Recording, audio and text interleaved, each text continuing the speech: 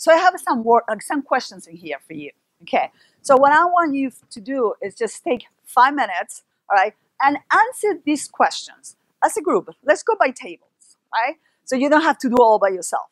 You know, like we tell the students in class, okay, you don't have to do this by yourself. You can, you know, can talk to your classmate. So let's answer these questions, and then we'll figure it out. What is that we already think about it? Orthography. What are the perceptions that we have? What do we know? Let's all. So I'll give you guys five minutes, and then we'll reconvene and we'll do, you know, all together.